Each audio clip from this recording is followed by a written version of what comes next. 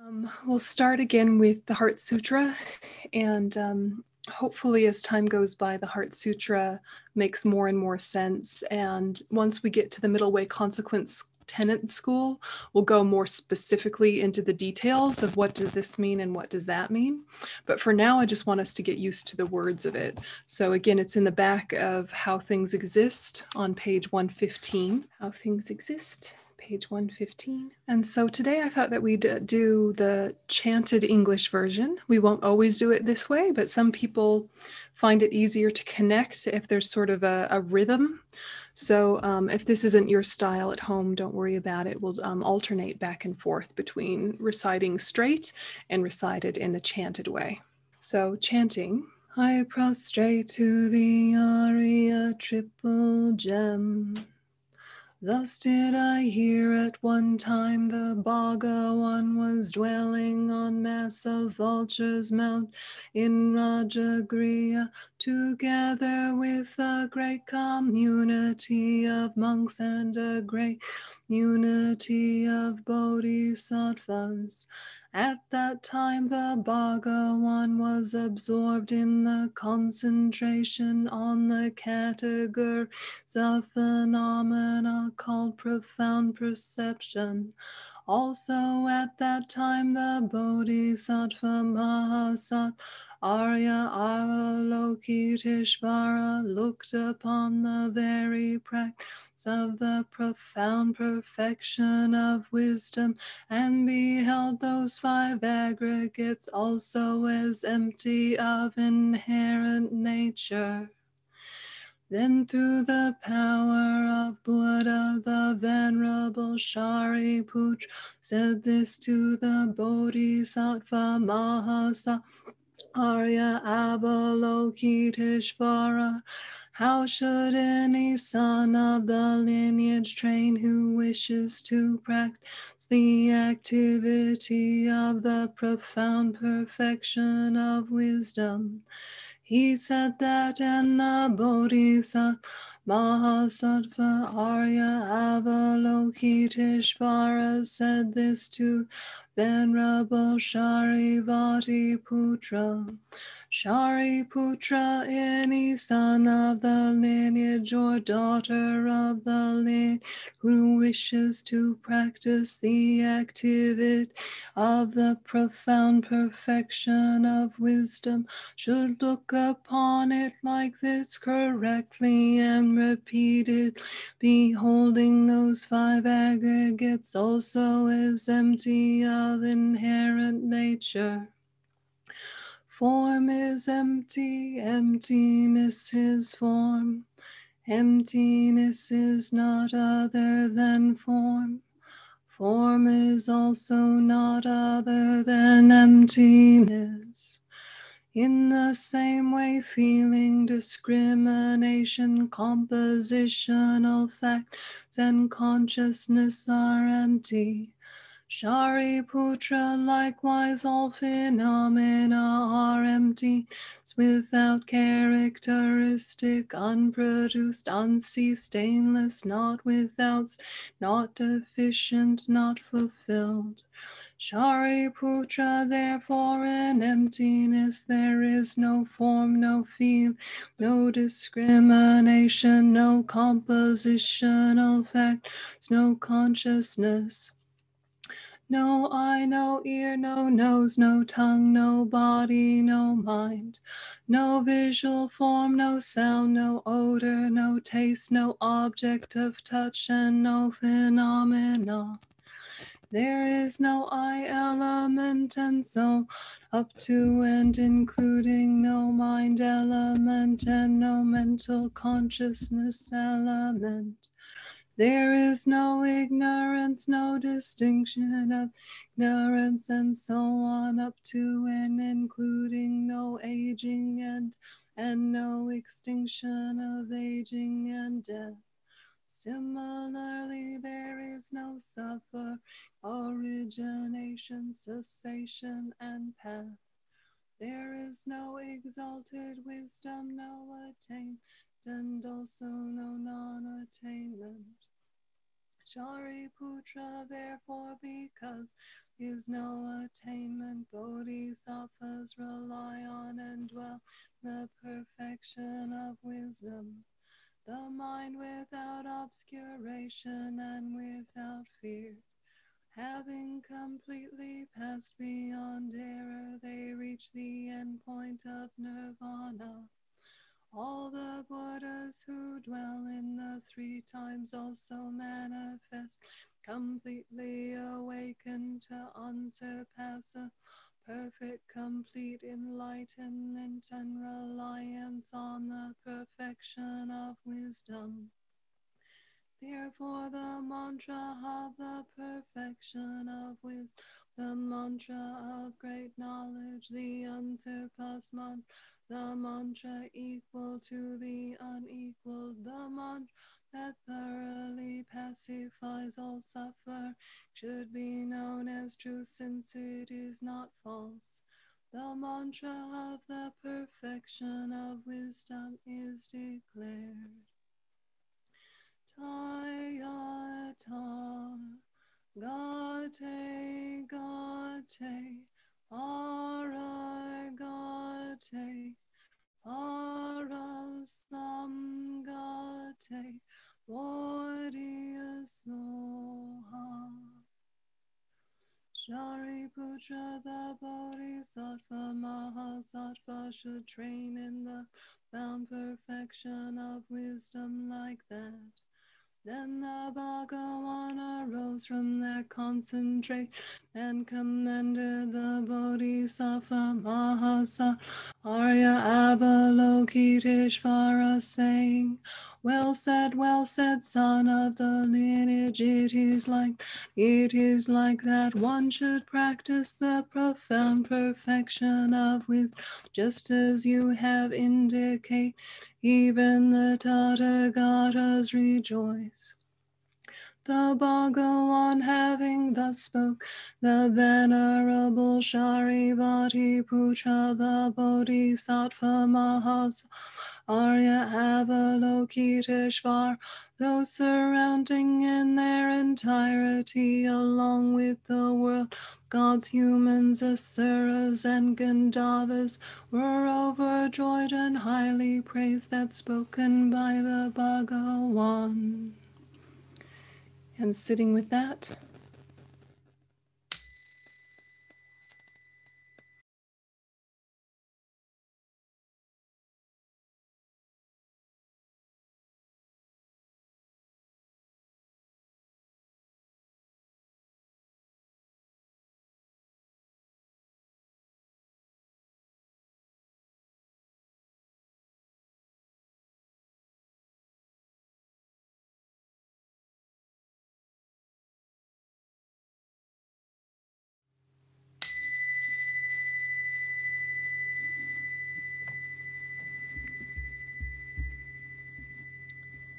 Okay, so the Heart Sutra, just, you know, before we unpack it too much, just in case people are getting confused by all of the not this, not that, no this, no that, remember that in the beginning it says no inherently existent this, that, this, that. And we're to understand that that no inherently existent goes with all of the other negations it goes with all of the other nots and nos. So we're not saying um, there isn't any eye, no ear, no nose, no tongue, no body, no mind. We're saying there's no inherently existent this, no inherently existent that.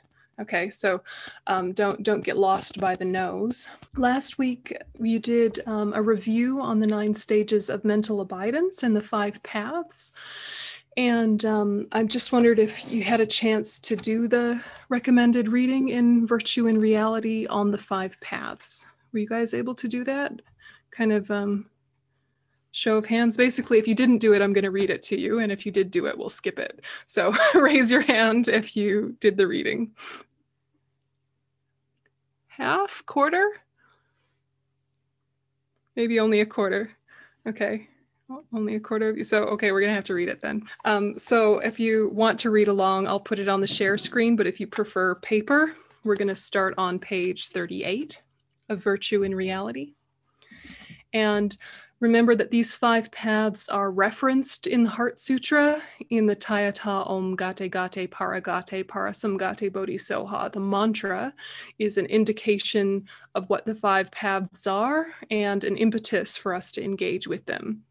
So the five paths are really important to understand for tenets, for the nine stages of mental abidance, for the 12 links of dependent arising, everything. So getting the, the five paths clear in our mind, at least in a summary version, is, is really important. Um, Lama Zopa Rinpoche says, the five paths. When you realize calm abiding, you can concentrate single pointedly on whatever object you choose for as many months or years, even eons as you like, as determined by your motivation. No matter how many distractions around you, police sirens, train whistles, people beating drums in your ear, nothing can disturb your mind or interfere with your concentration. However long you plan to concentrate, that's how long you can keep your mind on the object, immovable as a mountain. Not only that, but you also experience rapturous ecstasy of body and mind. Your body feels as light as cotton, as if you could float away, and very, very healthy. You can use your body in any virtuous action or practice with no hardship or difficulty whatsoever. Your mind is so controlled that, as I mentioned, you can concentrate on any object for as long as you like. And if you let go of your mind, it automatically gravitates to virtuous objects. So there's no danger of creating any negative karma. The great advantage of having achieved calm abiding, however, is that it now becomes very easy for you to achieve other realizations. In particular, you can meditate on emptiness as your object in order to develop special insight and the wisdom that is the actual antidote to the suffering of samsara. The Four Noble Truths, the foundation of Guru Shakyamuni Buddha's teachings, are true suffering, true cause of suffering, true cessation of suffering, and true path. True path means the wisdom directly perceiving emptiness, the very nature of phenomena, ultimate nature. This is what actually ceases the delusions, the cause of all suffering, the cause of cycle of rebirth, aging, sickness, and death, the cause of hell realms, the hungry ghost realms, the animal realms, and all the sufferings those rebirths entail, and the cause of the human asura and sura realms and all their suffering as well. When you achieve the wisdom directly perceiving emptiness, you attain what's called the right seeing path, or the path of seeing. It is here that the delusions, the obscurations, the defilements actually begin to cease. In all, there are five paths to liberation from suffering and its cause, the paths of merit, preparation, right seeing, meditation, and no more learning. By developing the wisdom realizing emptiness, motivated by the method of renunciation of samsara, the determination to free yourself from samsara, you can achieve your own liberation. By achieving the right seeing path, or the path of seeing, you remove 112 disturbing thought obscurations, and on the path of meditation, 16 disturbing thought obscurations. However, you destroy not only the delusions, but their seeds as well, so that it becomes no longer possible for them to ever arise again. This means that you will never again create karma or have to experience suffering. You become an arhat, your holy mind, free from obscurations of disturbing thoughts. You attain nirvana, the sorrowless state, and liberate yourself from the entire round of samsaric suffering. To achieve enlightenment for the benefit of numberless other sentient beings, you need to achieve the five Mahayana paths, which are also called merit, preparation, seeing, meditation, and no more learning. Here, no more learning means omniscient mind, the completion of all understanding. There's not a single object of knowledge left to discover. Again, it is on the Mahayana right seeing path that your wisdom directly perceiving emptiness starts ceasing the delusions. Anyway, there are many details of these paths and many texts describing them, of which the Abhisamayalankara is probably the best known. In the great Tibetan monasteries, such as Sera, Ganden, and Drepung, the monks study many root texts and commentaries that detail the five paths and so forth. They memorize, debate, and meditate for 30 or 40 years. It's a bit like one person trying to learn all the parts of an airplane and how they all function together so that they can fly safely. Anyway, to attain your own liberation from samsara, you need to understand the details of the five paths. The right seeing path eliminates intellectual wrong conceptions, those acquired from incorrect teachings, while the path of meditation eradicates the innate misconceptions, the ones you were born with and have on your mental continuum since beginningless time. After that, you reach the fifth path, that of no more learning, and attain nirvana, the sorrowless state. To reach enlightenment for the sake of all sentient beings, you have to follow the five Mahayana paths. When you achieve the Mahayana right seeing path, you also eradicate gross obscurations, which prevent you from attaining your own liberation from samsara. But in addition, you eradicate the subtle obscurations, the negative imprints left on your mental continuum by the gross delusions, which prevent you from attaining enlightenment. So there's more in this text on the five paths, and um, I think it'd be useful to read it. Um, starts on page 43. And um, so I recommend you read that in your own time. Okay, so the five paths basically, we need to understand that it's like developmental stages. It's basically what happens when your mind develops like critical mass about a certain content or a certain idea. It's that shift from head to heart that we've all experienced at various times in our life where we've known something for a really long time and then finally it sinks in and touches our heart and changes our behavior. Do you know what I mean? Like we say in English, the penny drops. Yeah, or something has like the ring of truth. Um, you know, um, the example I always use is, you know, my uh, teachers would always say to me when I was a little kid, you know, my school teachers, you know, treat other people the way you want to be treated, you know, like everybody's teachers say that, right? And I thought, yeah, yeah, that's a good idea. Um, and then I think, I don't know, it was probably embarrassing how old I was when it finally it occurred to me, oh, I could treat others the way I want to be treated, right? Like I'd heard it a million times, but like finally I went, oh, that's a really good idea. you know, like it sunk in.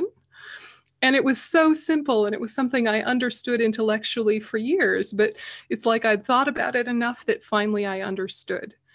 And this is the way the five paths are is that you understand something and then you really do have to repeat it and hit it from a lot of different angles and eventually it has enough power to shift into a realization.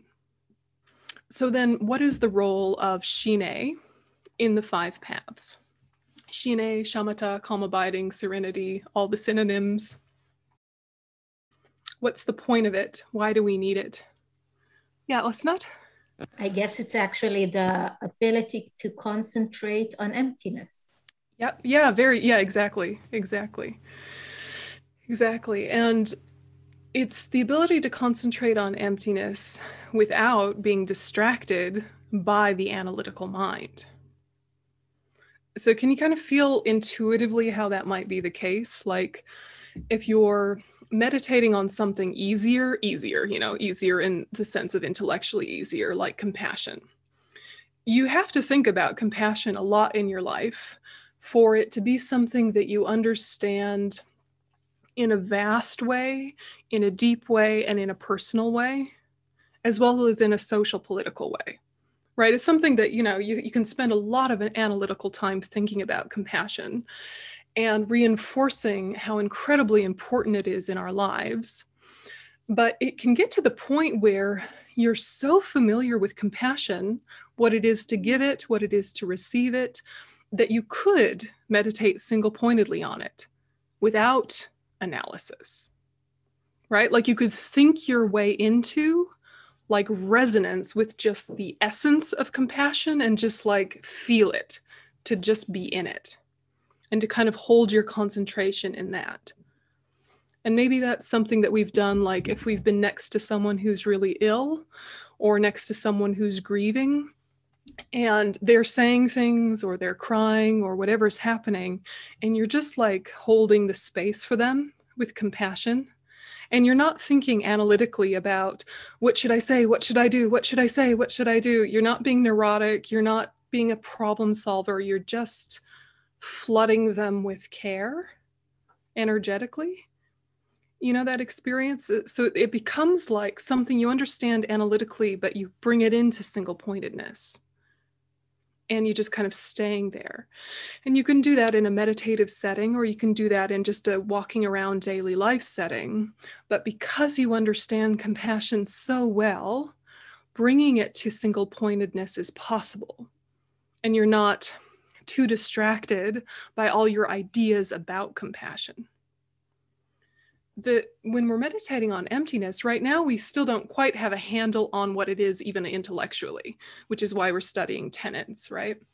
We're studying the philosophical tenet schools in order to intellectually really refine our understanding of emptiness so that it's precise, you know just like when you're meditating on compassion you're trying to get it precise in the sense of free from attachment free from expectations free from blah blah blah right right now we're trying to understand emptiness in terms of what isn't it and as well as what it is. And if we were to try to meditate on emptiness single pointedly right now we really wouldn't know what we're doing. You know we would kind of um, we would maybe blank out or disassociate or think of the sky or have kind of staticky no thoughts or you know none of which is the point. None of it which is what we should be doing. But sometimes people will go to some like pop yoga class you know not like a real yoga class but like some sort of westernized new agey you know silly yoga class. And the teacher probably with good intentions but with no education says now let's meditate on emptiness. Empty your mind. You know and it's to like encourage relaxation or something that is not what we're talking about in buddhism and i know that you guys know that by now but if you don't know that click it in okay but it shows that we can't meditate single pointedly on emptiness yet because we don't really understand what we're doing do you know what I mean? Right now, we have to rely on analysis and we need to work on single pointedness as a separate project. And we develop single pointedness in relation to things we can get a grasp on, like the breath, like the clarity of the mind, or like the concept like compassion, or on a mental image like you did last week. So last week, you know, there was a an encouragement to use either the image of Shakyamuni Buddha or the image of golden light in your mind's eye and to hold your attention on that as another form of developing single pointedness. So, your analysis and your single pointedness are two separate projects, and eventually you can bring them together, and eventually you'll be able to bring them together on emptiness. Is it kind of all kind of coming together, or, or do you want to clarify any bits? Um, maybe I'm misunderstanding or making it a bit superficial, but it sounds like you're saying that Shiné is more experiential and analytic is more intellectual. In in the beginning, that I think that is true. Yeah, I think in the beginning that is true. Although I think even single pointed concentration in the beginning is strangely intellectual because we're trying to find what it is we're trying to land on so we're using a lot of analysis to try and get to okay what about the breath am i focusing on am i focused on here at the nose down at the tummy which part of it you know or if i'm focusing on some mental image you know you hold it in your mind but then it kind of drifts and you have to kind of pull it back and you know or it'll shrink or it'll expand and you're like so you're still using some less quote experiential more analytical abilities to get your single pointed concentration and then you kind of merge with it. And maybe that comes easier in the beginning with single pointedness whereas with analysis it's more intellectual by nature i guess but it does become quite experiential with repetition so it's like the first time you meditate on loving kindness, you might not feel loving kindness, even though you feel loving kindness in your daily life towards all sorts of people. You don't feel it in the meditation. You're just kind of like, all right, you know, you're walking yourself through stages, and sometimes you'll touch it and sometimes you won't. But with advanced analytical meditation, it is very experiential, and you're really using logic as a gateway to experience. I wanted to ask, continuing to what Mika said, is it kind of from uh, conception to perception, what you're talking about, in a sense? Colloquially, yes, and then technically, yes, both. yeah, yeah, yeah, for sure. So, um, kind of a more advanced presentation of those five paths, I thought to just very gently look at and see how it goes. So here at number one, for sharp faculty trainees, they have an inferential realization of emptiness before they even start the path. So this could be us. This could be us where we're working on this inferential realization of emptiness and we don't have any renunciation yet we don't have any bodhicitta yet you know we can stop and think about those two and try and generate it but it's not coming spontaneously and effortlessly it's not an actual realization yet um, you know the actual beginning of the path of accumulation is this uncontrived renunciation and mind of enlightenment. And the path of accumulation has stages within itself. So at this beginning point, the path of accumulation is when you officially become a bodhisattva. And there's small, middling, and great sections to it. And it can take one countless great eon, which is like a huge amount of time to go from the path of accumulation all the way to the path of seeing. Now, it doesn't have to take that long if you, for example, practice Tantra, but um, just kind of know that this section will take a while. And that can kind of overwhelm us and say, oh my gosh, like, what's even the point? Why don't I just like enjoy my life? you know, like, why even bother? Let's just try and like take the edge off of suffering, you know, and like eat healthy and go for walks and be nice to people and not overthink it. You know, like, you know, you can look at charts like this and be really daunted but I think we forget that we have so many past lives of merit and momentum towards a spiritual path. It's not like we're starting from the very beginning. It's just we're not tapping into the energy that we've already started. And I feel like what we've done as humanity, or as we, what we've done for our own mental continuum as an individual, both, is that we kind of start and we start you know moving and we get into kind of a renaissance individually or societally and then we get distracted and selfish and fall into a dark age and then we kind of pull ourselves out of it and kind of get momentum again and start going again and move towards another renaissance and then we start to really achieve things in terms of i don't know advancement in ideas advancement in understandings, advancement in depth. And then we get distracted and selfish again and fall into a dark age. You know, that's what we do as society, that's what we do as an individual, that's what we've done from beginningless time. And so well, I think the the important thing here is to think there is nothing really new in samsara. A lot of the energy that I put towards, I don't know, seeking new peak experiences is better served if it's internally rather than externally. Because externally, all of us are adults, we know if you travel somewhere, there is interesting food, interesting culture, interesting architecture, interesting landscape anywhere. You know, it's just variations on a theme. Like, do you really need to go to Greece? You know, do you really need to go to Paris? It's like there's cool stuff everywhere. there's novelty to be found everywhere. Do we really need to keep reinventing the wheel? And these kind of outer chasing behaviors are what prevent our progress internally. They distract us and they diffuse our energy. So, whether you're Buddhist or not, or believe in future lives or not, if you want to make this life meaningful, you need focus. Do you agree? Focus, you know? And so, Shiné is not necessarily even a Buddhist technique. They talk about Shiné in the Hindu tradition, they talk about it in a lot of traditions.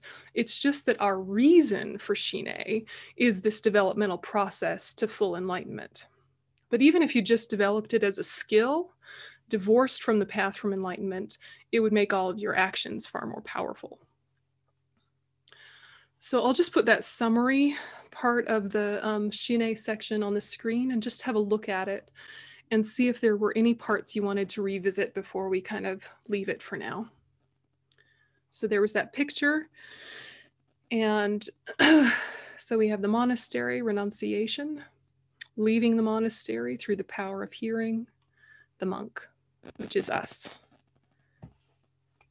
And then he holds the hook, power of introspective awareness, the lasso or the rope, power of mindfulness, and then these six bends, the six powers. And then these sensory objects, I think that's what's very important for us to look at at our stage, is these are our temptations, basically saying, don't worry about evolved happiness or deep happiness or altruistic happiness. Just feed your senses. Come on.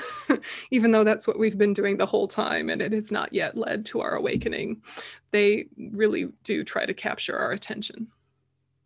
Then we have, you know, our elephant, heavy, coarse laxity, which is totally out of our control at our stage, and our monkey mind, restlessness and distraction. We haven't even gotten to subtle laxity up here with the hair. So most of us are kind of hanging out in this area where the elephant is not at all subdued. I think that if by the end of your human spirit semester, you can get your focus to at least here, where see the elephant is starting to look behind and the monk has roped him. He's still ahead of him, he's still pulling him, but there's some control. I think that that's achievable for us all. I think we could get to this stage, maybe even further, but I think that this is something really good to aim for where we at least have some degree of control. Yönten. Sure. Hey. Where exactly Shiné comes in the path? Is it accumulation? Is it all until seeing? Where exactly is the Shiné? Shiné is needed for the beginning of the path of preparation. So the second path. Yeah. You could develop it earlier. You know, it's like, but it's like you can't go any farther than the you know than that kind of entry point unless you have shiné. So some people would have it even before they have any renunciation or bodhicitta. But um, basically to get to the path of preparation you need shiné and insight conceptually. And then you repeat it repeat it repeat it until it becomes perceptual and that's the path of seeing. So um, can i ask yeah. something about a renunciation? Yeah, sure. We can see that even after one achieves renunciation, right? Still, the sensory uh, object uh, objects are still there along the along the way. So, um, is is renunciation um, not giving up on on sensory objects? Renunciation is the determination to be free. So it's like the will that wants to get out of samsaric cycles. So you're not renouncing sensory pleasures, you're renouncing attachment to sensory pleasures. So it's the difference between like I don't know, a little kid who's like four years old and you put a block of chocolate in front of them and say, you can have one piece, but there's the whole block there. A very little child will be like, I'll have one piece and then two pieces and then the whole thing. And then I'll be sick, but I don't care and I still want more. And then the child gets a little bit older and says, you can have one piece and they can actually have one piece and enjoy it and leave the rest of it, even though they're tempted. They know that more pieces won't mean more happiness. Right? You know, I don't know developmental stages. You have to correct me on the age timeline. But you know what I mean? It's like this with renunciation where you can use. Huh? 38. 38. I don't know. I'm still checking, but look, it's it's an interesting one to explore because you can use sensory objects without being attached to sensory objects. Right? You can enjoy sensory objects without being attached to sensory objects. So renunciation is not renouncing the objects, it's renouncing the attachment the exaggeration, right? So, what you're saying with renunciation is I am determined to break the spell. I'm, inter- I'm determined to unlearn this lie that says my happiness comes from my senses. So, yeah, so you're taking the power back from your senses and you're saying, sure, chocolate can be a condition for my happiness, sure, but it's not the substantial cause. I know that. If I'm full of grief and sorrow, that chocolate will have no taste. And if I'm full of joy, I could have a tiny corner and it could just bliss me out and delight me beyond all measure. So if it was the chocolate from its own side, it would always have the same effect. And it doesn't have the same effect. It has a different effect different times of your mind meeting with that sensory experience. And we already know that, but renunciation is choosing to remember that again and again so that we don't just get sucked into this whole consumer driven way of life, which destroys our planet, which destroys our wealth, which keeps us greedy, which makes us miserly, and we suffer. You know, samsara is a fundamentally disempowering mental state. You know, you lose all of your ability to make your own joy because you think joy comes from the outside. So, so don't get lost by the word renunciation, right? You're not renouncing the senses, you're renouncing attachment. But it's not like we already dealt with the attachment, right? I need enlightenment to deal with the attachment. It's just the motivation. It, it's it's like it's not like a sudden shift, right? It's not like you go from having attachment to having no attachment. You know, it's gradual. So it's with renunciation, it's like you've really decided this is a big project in your life, mm-hmm. so much so that it's always in the back of your mind and it informs all of your choices. So it doesn't mean you're perfect at it and it doesn't mean that you don't still get distracted, but you have like a worldview that is deep and consistent, that is always held by samsara is a lie, I tell myself. I'm going to try not to believe it. What do I need for enunciation?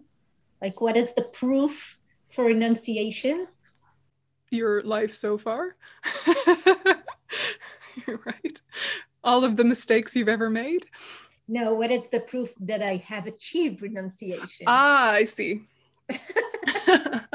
You're not captivated by sensory experiences right? You could see all of your favorite things and say, Isn't that lovely? and not need them consistently. Yeah, consistently without, you know, without kind of a, the tug. You know, you could have all of your greatest temptations in front of you, whether it's people or situations or landscapes or objects or food or whatever. You could have everything that tempts you that seems to be saying, I will give you happiness if you merge with me, you know, and you'll say automatically, I don't believe you. Genuinely from your heart. So, so we've broken the spell of a few things already in our life, and it's just a process of doing that on purpose, actively, and consistently. you know and and it's so easy to just get swept back up in our habits you know like we'll finish class and then what will we do we'll probably go to the bathroom and then like have a cup of tea or have a coffee or drink something or eat something with the idea that these are the necessary components for my relief relaxation recovery and happiness. And if i don't have them i can't have relief and recovery and relaxation and happiness. You know and if for some reason my tea kettle breaks or my coffee machine breaks my day is ruined you know. And renunciation is saying you can have your coffee just don't believe it. Yeah and in a way you can almost enjoy things more not less you know and so I, I think it's really important that we understand renunciation is not depriving oneself of pleasure. It actually gives you more pleasure the more renunciation you have.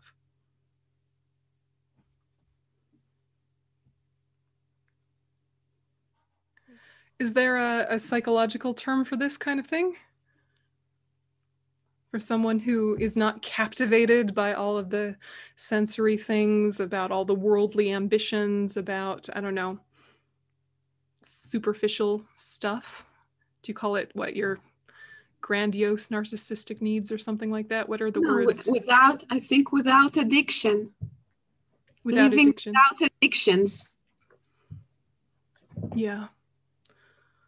And without addictions, not only the um, kind of socially unacceptable addictions, but like the deep, deep addictions that are just in our daily life that are completely socially acceptable and no one would ever confront us for having those are the ones that we need to really deeply look into. You know like if we smoke i don't know pot or like methamphetamine our friends and family will say are you okay? Right? But if you have a cup of tea no one's going to question your cup of tea and there's nothing wrong with a cup of tea in and of itself but is your hungry mind desperate for it? Has your attached mind given all the power to it? And how many things in a day have we done that with? And how much time do we waste because of it? And you know, the thing is is that usually the thing that we've given the power to doesn't even work the way we want it to, so there's an edge of disappointment with it as well. It's like some days the coffee really hits the spot. It's like the perfect thing. And you just excellent back into the day.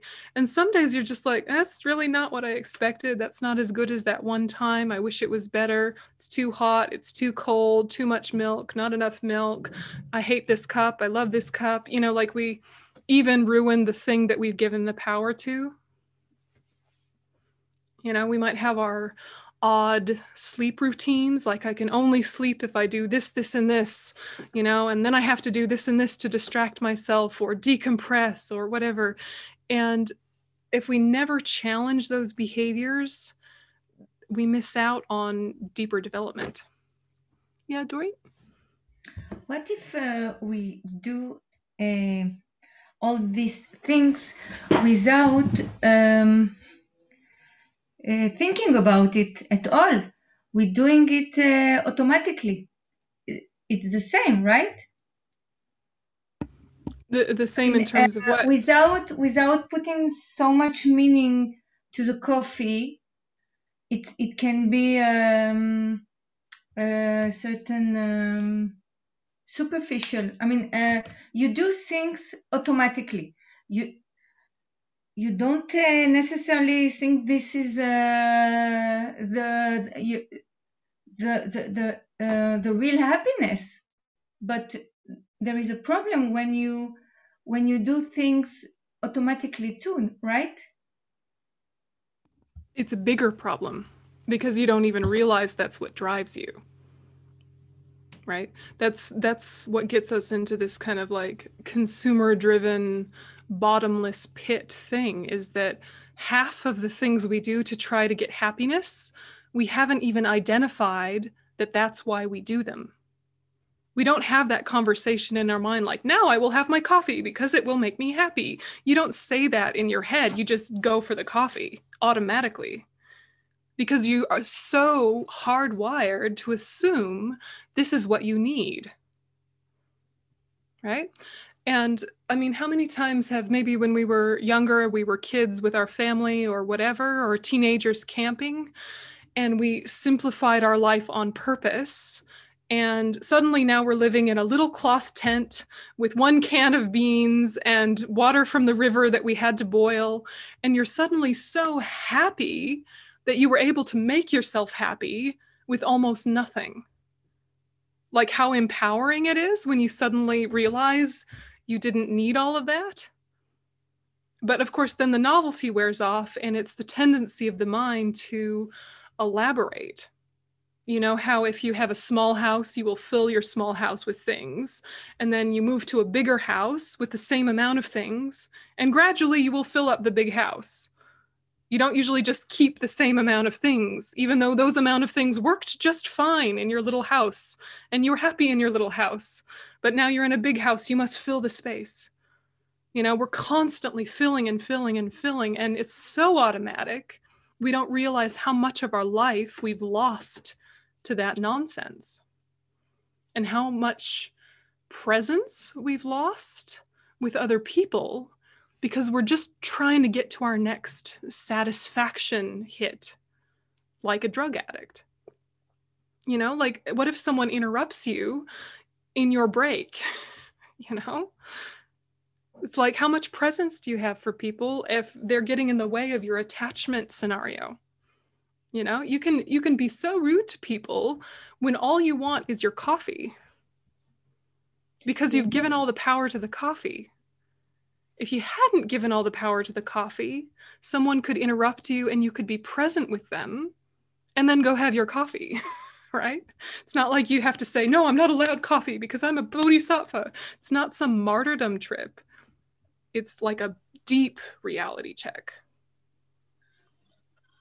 Intended, but I think we give the power to the coffee or whatever else because we don't experience ourselves as uh, having the power within the mind without any you know support from outside yeah so yeah this is the real experience that we have that we need this support and we need to rely on all kinds of structures and materials and substances and people and so on yeah yeah, and even to have the conversation is a big deal. Most people spend their whole life and don't even have this conversation with themselves. They just assume all the joy in their life comes from external things and they give their whole life to that and die somewhat dissatisfied. You know, what was it all for? Right. Um, and some people die very satisfied and think, what a lovely life full of all sorts of human interactions and indulgences and pleasures and what was the legacy of i don't know pollution behind them and the legacy of consumption behind them and what what did they leave humanity as the result of a life lived in that way? You know? Two things. One it's so interesting we teach our children so many things but we hardly talk about what is what is the meaning of life or what is what gets us happy. So, how can we know what is the meaning of life and what do we need to be or to do to be happy? Like everybody struggles alone because nobody teaches us. And um, the second thing I thought is like, it's interesting because in self psychology, we talk about a merging with a self object. So sometimes, like, I have a patient that is constantly talking about her chocolate and how she has to merge with the chocolate. Now, the, the merging with the chocolate has a lot of, um, like, she needs to, in order to, um, uh, to hold this experience, it has a lot of rules not to eat twice in the morning. Like, like it has a lot of rules to, like, to guard the experience.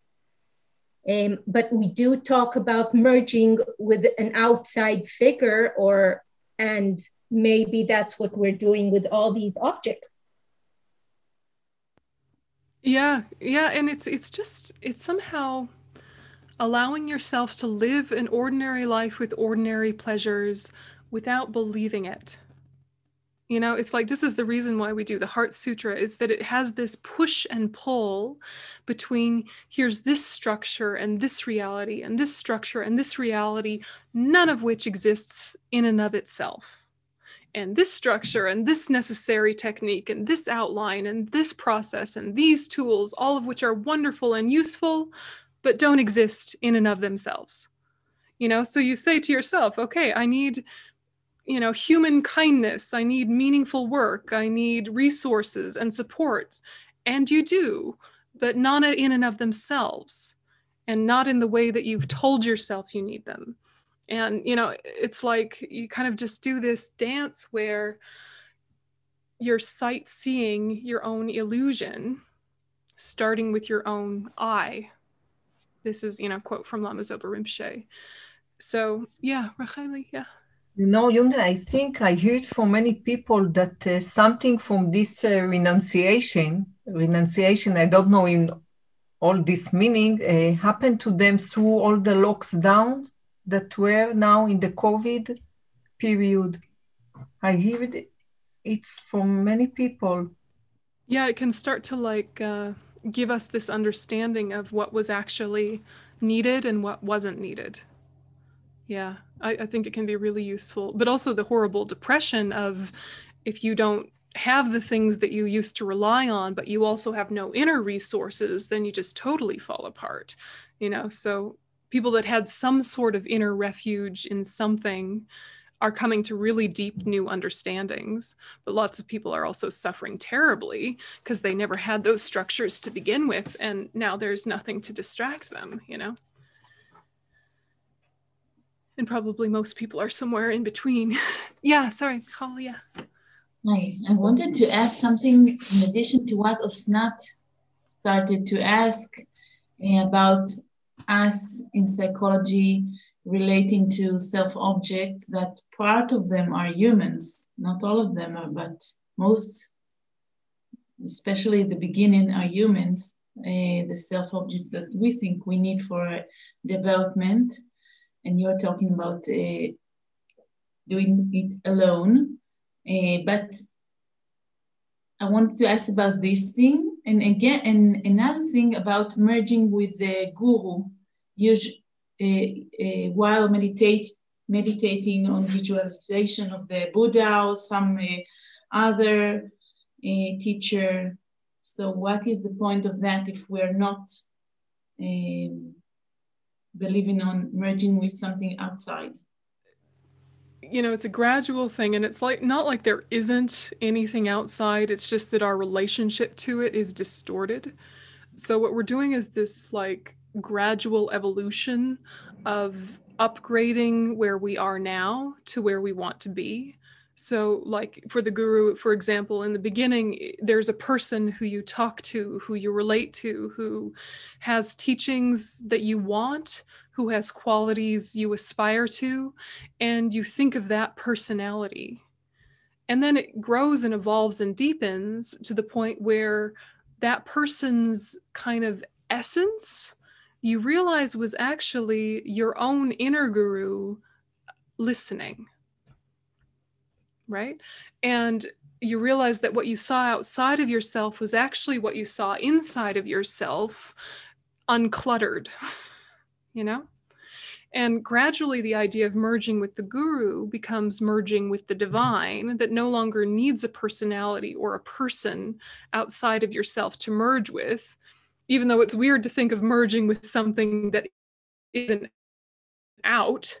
You know, it's it's a different kind of outside yeah so it's it's a gradual process you know there's the introductory relationship and then the evolution into something that is much and vast and about ideals rather than personality traits.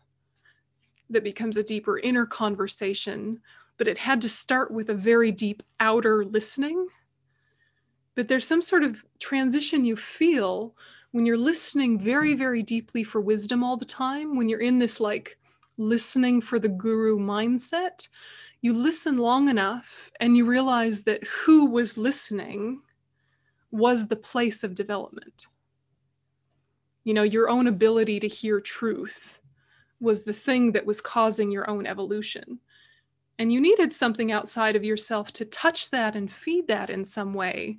But it wasn't actually the main point, it was just a condition. And so, how, how big a deal it is and how much a condition it is changes over time as you kind of mature. Which is, you know, I think similar to how you guys talk about idealized self objects, right? Similar. Yeah, Talia? But there's always even merging with the divine there's always something there outside that stays outside in a sense or i mean yes but no it's almost like it stays outside and then you join it you know like the dharmakaya mind of all the buddhas you know just keep it's like you're a little drop and they're the ocean and you like your little drop goes into the ocean um, we'll just uh, now we'll do some uh, dedication and we'll. do-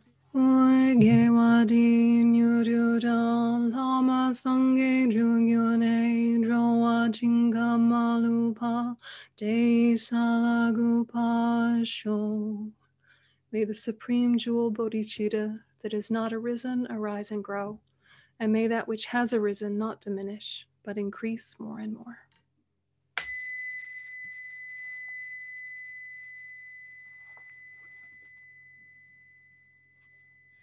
Okay. So Wednesday's class is a review the 12 links, and um, I'll see you on Monday.